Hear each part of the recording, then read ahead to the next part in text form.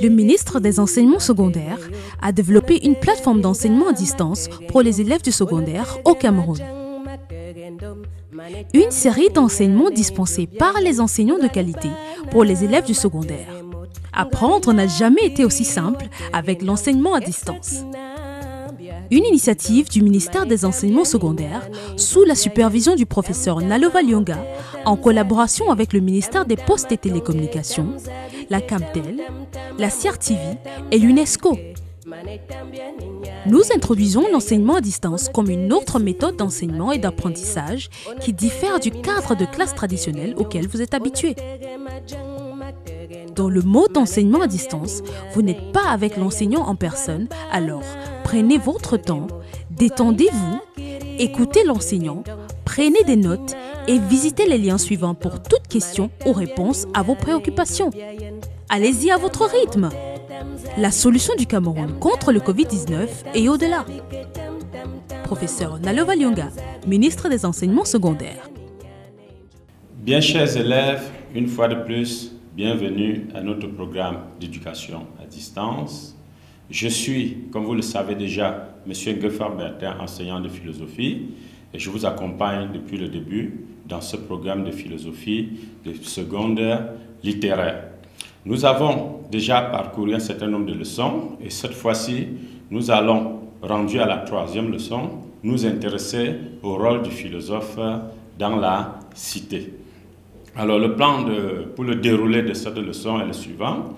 Nous aurons la situation problème, les prérequis, les activités d'intégration, les exemples de situation, les exemples d'action, la justification de la leçon, la problématique, ce qui nous permettra de rentrer dans le, la leçon proprement dite en nous intéressant d'abord aux préjugés de futilité qui accablent le philosophe, au fait que la philosophie, au départ, originellement, est une activité désintéressée, et nous allons pouvoir parcourir les éléments qui tendent à établir l'importance du philosophe dans la société pour en finir avec la nécessité de ce dernier dans, dans une société en crise.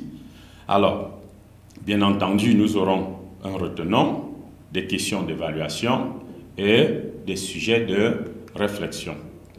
Alors, pour commencer, nous déclinons notre situation, problème, ainsi qu'il suit.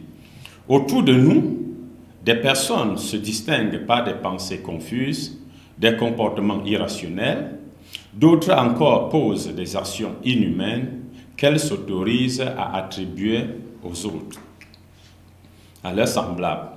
Alors, comme prérequis, nous nous posons cette première question. Quel est l'objet de la philosophie? Alors, quel est l'objet de la philosophie? En guise de réponse, l'homme, le réel, physique et métaphysique, la totalité, comme on a vu dans le cours précédent.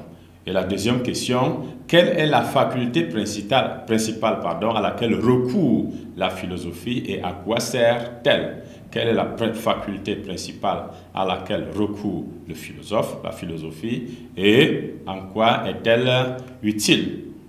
Alors la réponse nous dit que le philosophe a pour arme essentielle la raison, le bon sens, et cette faculté lui permet de penser, de raisonner, de rechercher de façon critique le savoir véritable.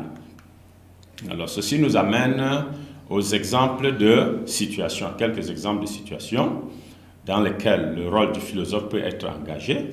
Nous avons des situations de dogmatisme, des situations de préjugés, la superstition, le fanatisme et l'intolérance, mais également la précipitation et les pensées confuses, l'ignorance de la valeur même de la philosophie et bien sûr l'immoralité galopante dans notre société. Face à ces situations, quelles actions pouvons-nous mener pour y remédier?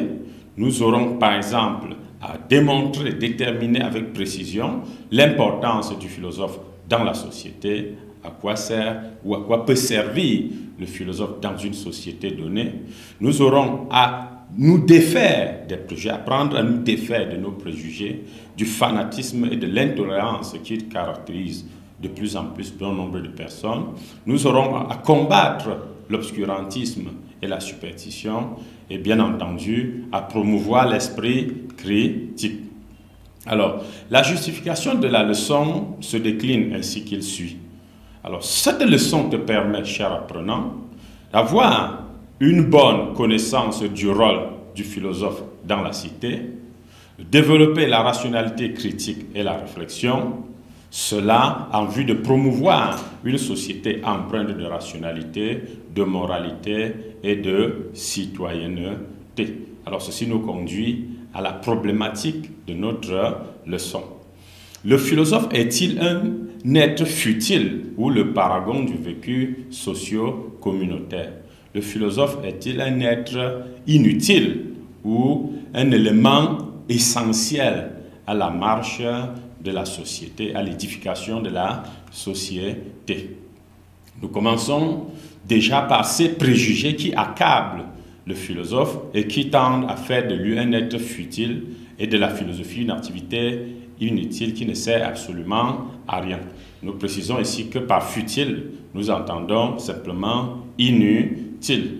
Il s'agit donc de montrer qu'il y a un certain nombre de soupçons d'inutilité qui pèsent sur la philosophie et qui ont pour conséquence le mépris du philosophe, le dégoût de l'activité philosophique. Alors, euh, ces soupçons-là nous peuvent être catégorisés à un certain nombre d'arguments qui peuvent être considérés comme des arguments anti-philosophiques. Déjà, nous aurons les arguments du sens commun, qu'est-ce que l'homme ordinaire reproche aux philosophes, les arguments religieux, qu'est-ce que le milieu, le, monde religieux reproche à la philosophie, les arguments scientifiques, parce que les scientifiques également formulent un certain nombre de récusations, un certain nombre d'accusations contre les philosophes. Nous avons les arguments moraux, du point de vue moral, du point de vue de la moralité collective, il y a un certain nombre de reproches qui peuvent être formulés contre le philosophe et par extension contre la philosophie. Et bien entendu, les arguments politiques, parce que les politiciens, les hommes politiques ont eux aussi des arguments qu'ils formulent, des éléments critiques qu'ils formulent contre la philosophie. Alors sans plus tarder, engageons avec les arguments du sens commun. Alors nous disons donc ici que le sens commun, l'opinion publique, reproche à la philosophie de n'être qu'un simple bavardage inutile, une pure spéculation, et certains vont jusqu'à faire de la philosophie une folie, pour ne pas dire une simple rêverie. Et on en veut pour preuve cette illustration que donne Aristophane dans sa critique de, de Socrate, lorsque dans les nuées, il présente ce dernier comme un être des nuages, comme cet être qui refuse de voir les choses comme tout le monde, qui voit les choses autre, autrement. La philosophie est donc considérée comme un bavardage inutile qui ne sert pas les intérêts de l'homme aux prises avec les difficultés de la vie. Alors, quant aux arguments religieux, nous disons que du point de vue religieux, il est reproché au philosophe son incrédulité, il ne croit pas du tout, il refuse de croire. Son caractère sacrilège, c'est-à-dire que le philosophe s'attaque aux éléments considérés comme sacrés, considérés comme tabous dans une société et par conséquent qui ne devraient pas être touchés, mais la philosophie s'attaque à ces valeurs-là. La philosophie est une hérésie qui va à l'encontre, qui remet en cause les divinités, les absolus, les éléments transcendants d'une société donnée. Et par-dessus tout, on reproche aux philosophes de blasphémer, se permettre de dire des choses pas toujours honorables à l'endroit de Dieu, à l'endroit de ce que les hommes considèrent comme sacré. Et l'illustration la plus parfaite est donnée par dans l'apologie de Socrate, où justement Socrate est accusé de ne pas croire au Dieu de la cité et de substituer à ces divinités de la société des divinités nouvelles. Alors, quant aux arguments politiques, il est reproché du point de vue politique à la philosophie, aux philosophes, de troubler l'ordre public, de déstabiliser la cohésion sociale. Et là également, il s'agit de l'un des chefs d'accusation qui pèse sur Socrate dans l'apologie de Socrate. Il est accusé d'avoir troubler l'ordre public, de créer une sorte de dysanie dans la société. Il y a ce mépris de l'autorité qui est reproché aux philosophes. On pense que le philosophe ne respecte pas toujours les autorités. Il va à l'encontre de leurs décisions, il va à l'encontre de leur volonté. Et cette attitude frondeur ne semble pas plaire aux hommes politiques. Et on considère également la philosophie comme une sorte de subversion, tout simplement de rébellion. Et on voit très bien comment, dans le Gorgias, Caliclès accuse Socrate de s'adonner à des gamineries au lieu de s'adonner à la philosophie, de s'adonner à des enfantillages inutiles, au lieu de s'occuper des choses sérieuses comme la gestion des affaires publiques. Bref, dans la logique sophiste qu'incarne Caliclès, la philosophie n'est rien d'important aux côtés de la politique qui s'occupe des problèmes sérieux de la société. Et sur ce plan, en s'attaquant à Socrate, on voit bien que cette critique s'adresse également à Platon, même si euh, ce n'est pas avec la même ardeur. On sait bien que Platon a dû abandonner la carrière honorable politique à laquelle il était destiné pour suivre un certain Socrate, un homme dégingandé et plus ou moins ridicule dans son comportement. Le philosophe est donc comme un d'Abdi Cariclès, cet homme qui mérite le fouet parce qu'il empêche que les gens dorment tranquillement dans la société. Et justement, euh, cette critique politique va également rejaillir sur le plan scientifique sous euh, euh, une autre forme où on voit la philosophie, le philosophe reprocher de bavardage, reprocher de théories inutiles. La philosophie est donc un bavardage inutile, des, des pures spéculations, des simples théories, des abstractions infondées et improductives. La philosophie est donc inopérante. Et on sait très bien que dans son admiration pour la physique de Newton, Kant s'est permis de critiquer la philosophie, notamment la métaphysique, en la comparant à un ring de boxe où les gens se donnent le coup et où personne n'a pu remporter une victoire durable. Alors, la science est donc, est donc perçue par les scientifiques et par bon nombre de personnes, d'adorateurs de la science, comme cette discipline qui donne la preuve, cette discipline de l'expérimentation, qui se caractérise par sa rigueur, par son objectivité, par son opérationnalité. La science est opératoire, c'est-à-dire qu'elle rend des services, elle peut servir à quelque chose. Il y a donc euh, euh, cet accord des esprits qui peut être créé par la science. La science provoque l'accord des esprits et c'est cette caractérisation de la science qui vaut euh, l'admiration d'Auguste Comte et son positivisme. Et son positivisme, donc du point de vue scientifique, les philosophes sont des bavards impénitents, des bavards inutiles, alors que les scientifiques apportent des solutions immédiates et sérieuses aux préoccupations de l'homme. Alors, quant aux arguments moraux, il est reproché aux philosophes de véhiculer les antivaleurs, c'est-à-dire des valeurs contraires, des, valeurs opposées, des contre-valeurs, c'est-à-dire des valeurs qui viennent bouleverser les valeurs déjà solidement ancrées dans la société. Le philosophe apparaît alors comme le pourfendeur de l'ordre moral et le, déstabilisateur des valeurs supposées inflexibles, des valeurs posées et qui devaient être pérennes. Alors, on voit justement cette dimension critique euh, de la morale qui est formulée notamment chez un philosophe comme euh, Friedrich Nietzsche, notamment dans son ouvrage La généalogie de la morale, où il prône le renversement des valeurs, où il prône la transmutation des valeurs morales. Il s'agit pour Nietzsche de remplacer les valeurs morales et d'ailleurs de le faire à coups de marteau. Nietzsche on l'appelait le philosophe au marteau parce qu'il disait qu'il venait briser la table des valeurs morales, les valeurs auxquelles les hommes ont cru pour proposer de nouvelles valeurs. Il y a donc chez Nietzsche et chez bien bon nombre de personnes cette volonté d'édifier une sorte de nihilisme moral, de de débarrasser la société de toute forme de moralité et de laisser l'homme vivre par-delà le bien et le mal, comme l'illustre le titre de l'un de ses ouvrages. Ainsi, par exemple, Socrate est accusé dans l'apologie de faire d'une bonne cause la mauvaise, c'est-à-dire que ce que les gens considèrent comme bien, c'est ça que lui considère comme mauvais et inverse, inversement. Alors il y a donc là un ensemble de critiques qui sont formulées contre la philosophie, qui donc vous avez bien constaté qu'ici, nous nous sommes refusés d'insister sur des arguments ad hominem qui ont souvent été formulés contre les philosophes, notamment lorsqu'il s'agit de mettre en exergue leur comportement plus ou moins dégingandé pour critiquer la philosophie. Nous pensons que lorsque nous voulons réfléchir de façon scientifique, on n'a pas besoin d'invoquer ce genre d'arguments par rapport au comportement. Ça ne signifie rien encore que si on, a, si on avait du temps, on aurait pu faire une sorte d'exégèse, hein, d'herméneutique de ces différents comportements pour qu'on comprenne qu'en réalité, ces comportements ne sont pas aussi anodins et aussi ridicules qu'on pourrait le penser.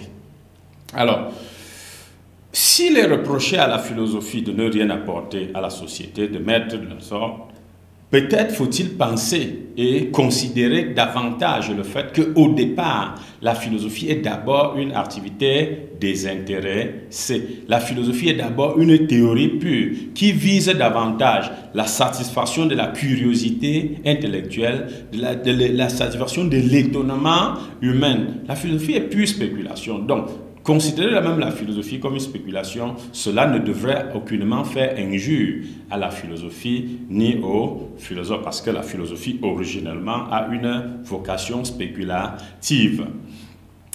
Parce qu'elle manifeste simplement le besoin de connaître, le besoin de comprendre l'ordre des choses, comme on l'a vu la dernière fois avec le miracle grec où à un moment donné, les hommes ont voulu s'interroger sur le pourquoi des choses. Et cette conception désintéressée de la philosophie ressort très bien dans la métaphysique d'Aristote lorsqu'il indique clairement ceci. Si ce fut pour échapper à leur ignorance que les premiers philosophes se livrèrent à la philosophie, il est clair qu'ils poursuivaient la science en vue de connaître et non pour une fin utilitaire et non pour une fin utilitaire. Donc, la philosophie, c'était pour connaître.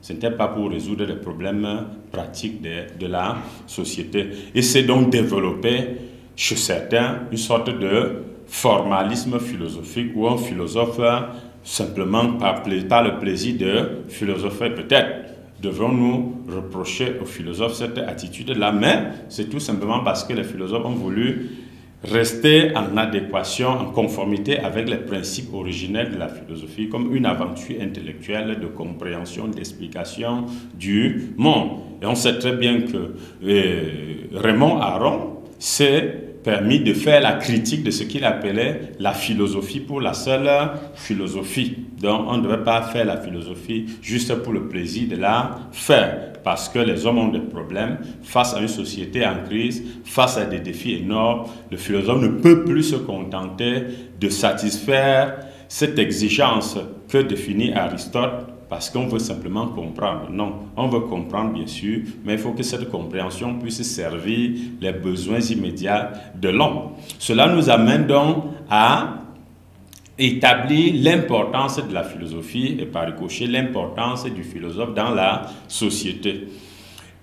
Alors, cela commence par la critique de la philosophie spéculative. Nous devons nous permettre de critiquer la philosophie lorsqu'elle se réduit essentiellement à la spéculation. Et on voit très bien cette distance, cette démarcation entre la philosophie théorique et la philosophie pratique chez Descartes déjà, lorsqu'il nous demande de trouver une nouvelle philosophie qui puisse nous permettre d'être comme maître et possesseur de la nature. Et chez Emmanuel Kant, pardon, chez Karl Marx également, notamment dans la 11e euh, thèse sur Feuerbach, on voit bien critiquer ce qu'il appelle une philosophie qui, passe son qui a passé son temps à interpréter. Il disait que les philosophes ont passé leur temps à interpréter le monde. Il est maintenant temps de le transformer. Car comme il le dit lui-même, il ne suffit pas de comprendre le monde, il faut le changer. Il s'agit de le changer. Alors, le rôle du philosophe peut donc être établi sur un double plan, sur le plan individuel et sur le plan social. Alors, sur le plan individuel, le philosophe apporte ce questionnement qui permet de réduire l'ignorance humaine, qui permet à celui-ci d'accéder à la vérité. Et cette dimension individuelle ou individualisante de la philosophie s'exprime dans la dialectique ascendante de Platon, lorsque le philosophe, lorsque le caverneux, longtemps embrigadé dans les chaînes du monde de la dorsa, du monde du mensonge, percevant les reflets de la lumière, fait un effort courageux pour briser ces chaînes et se lance à l'ascension vers la quête de cette lumière, vers la quête de la vérité, vers la quête de la connaissance. On voit donc que la philosophie peut nous délivrer de l'ignorance. Elle nous préserve des préjugés parce qu'elle nous fait sortir du monde sensible, marqué par les préjugés, les croyances, les opinions, etc. Or, nous savons très bien avec Bachelard et Platon déjà que l'opinion n'est pas toujours fiable. L'opinion pense mal, dit Bachelard, et transduit ses préjugés en connaissant. Il y a donc, euh, dans la dimension individuelle de la philosophie, un rôle d'assainissement moral, un rôle d'assainissement intellectuel. On peut considérer le philosophe comme le thérapeute de l'intelligence humaine, le thérapeute de la moralité humaine. Il est là pour soigner. Et Wittgenstein nous dit que la philosophie est une lutte contre l'ensorcellement de notre entendement. Dans cette dimension thérapeutique la philosophie s'exprime donc bien chez Wittgenstein, comme déjà chez Socrate, chez Descartes et chez Strawson, entre autres bien sûr. Alors maintenant, sur le plan social, quel rôle peut jouer le philosophe, ou bien quel rôle joue la philosophie?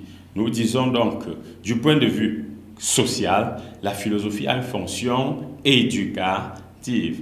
L'ascension au monde, dans le monde intelligible, suivi de la contemplation, doivent céder la place à la, à la descente.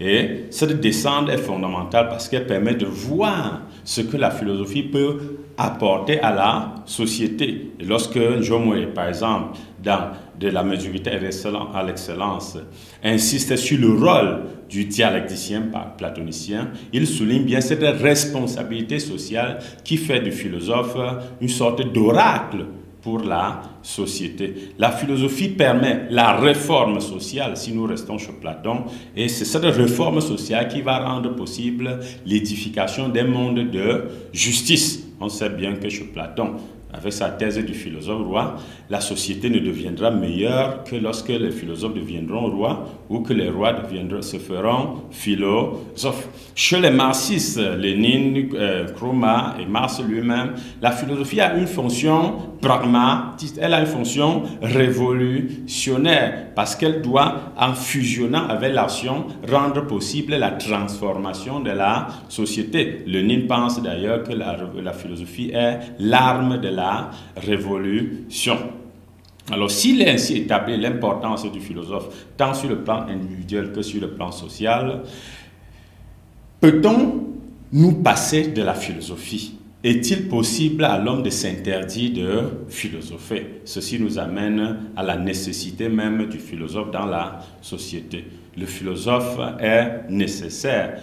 Il est partie prenante indispensable dans le jeu de la construction d'une vie décente.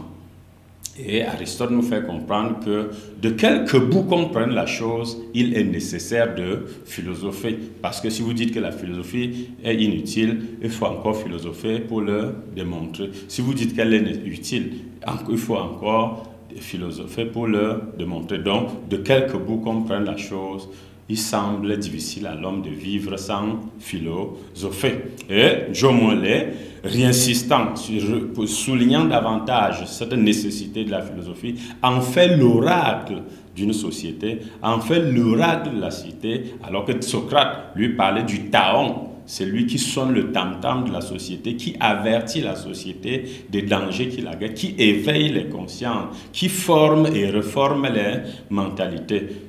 Au regard de cette immensité de la tâche, on peut donc penser que la philosophie n'est pas simplement nécessaire, elle est même urgente. Elle est d'autant plus urgente que nous sommes dans un monde avec des crises sociales multiformes. Nous sommes dans un monde avec des défis, hein, des défis énormes qui nous amènent à chercher des voies pour éviter le marasme.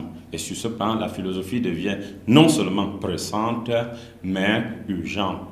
Il n'est plus, plus seulement question de comprendre que la philosophie est essentielle, il faut philosopher véritablement pour résoudre nos défis. Alors, ceci nous amène donc à résumer notre parcours lors de cette leçon. Qu'est-ce que nous pouvons retenir? La première des choses, c'est qu'il pèse sur, sur le philosophe un certain nombre de soupçons de futilité. Et nous avons eu le temps de parcourir les différents arguments qui établissent cette futilité du philosophe. Nous savons que la philosophie, parce qu'elle est d'origine théorique, parce qu'elle a des origines théoriques, est d'abord une discipline désintéressée, mais que ce désintéressement devient plus ou moins un peu gênant dans une société avec des problèmes, dans une société avec des défis à relever. D'où l'importance du philosophe et de la philosophie, tant sur le plan individuel que sur le plan pratique. Il est donc impossible de vivre une vie décente sans le philosophe, sans la philosophie. D'ailleurs, on ne peut pas vivre une, vie douillette sans s'interdire, en fait en s'interdisant de se poser des questions, en s'interdisant de questionner notre vie elle-même. Alors, Quelques questions d'évaluation pour voir si notre parcours a eu l'effet escompté. La première question, quels sont les arguments qui tendent à établir l'inutilité du philosophe? D'abord, nous avons vu les arguments du sens commun qui font de la philosophie un bavardage inutile. Nous avons vu les arguments religieux qui font de la philosophie une méprise du sacré, une remise en cause de l'absolu, une critique une profanation de l'ordre divin. Nous avons vu les arguments scientifiques qui, en, font de la philosophie un bavardage théorique et des spéculations sans prise sur les réels problèmes de l'homme. Nous avons vu les arguments d'ordre moraux qui font de la philosophie une, un, du philosophe un contre, un élément contre les valeurs, un anti-valeur à l'image de Nietzsche qui s'est autorisé de faire le renversement des valeurs morales. Nous avons vu avec les politiciens que, ou tout au moins sur le plan politique, les philosophes déstabilisent l'ordre social, ils remettent en cause l'autorité, ils sont à ce titre considérés comme des opposants, des subversifs, des rebelles. Alors, deuxième question, sur quel plan peut-on lire l'importance du philosophe? À titre de réponse, nous disons que sur le plan individuel, la philosophie lutte contre l'ignorance humaine, elle lutte contre nos préjugés, elle lutte contre nos opinions. En cela, nous dirons avec Descartes qu'elle nous permet de voir en clair en nos actions et de marcher avec assurance dans la vie. Sur le plan social, la philosophie a un rôle éducatif, elle a un rôle formateur, elle a un rôle de transformation sociale. Alors ceci nous amène, comme d'habitude, à quelques citations utiles. Nous rappelons cette, citation critique de Clément Rosset qui nous dit qu'il ne faut pas compter sur la philosophie pour trouver des raisons de vivre. Cette citation du philosophe brésilien Paulo Freire qui nous dit que coupé de la pratique, la théorie devient simple verbalisme, séparé de la théorie, la pratique est activisme aveugle. La citation de Edmond Husserl, nous sommes par notre activité philosophique les fonctionnaires de l'humanité.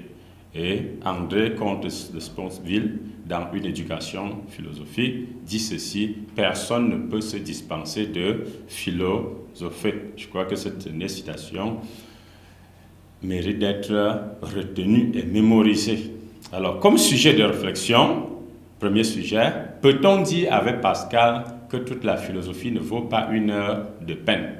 Peut-on dire avec Pascal que toute la philosophie ne vaut pas une heure de peine? Deuxième sujet, peut-on ne pas philosopher dans, un monde pauvre? Peut-on ne pas philosopher dans un monde pauvre, dans un, dans un pays pauvre, s'il vous plaît? Et enfin, la critique philosophique n'est-elle que destructrice.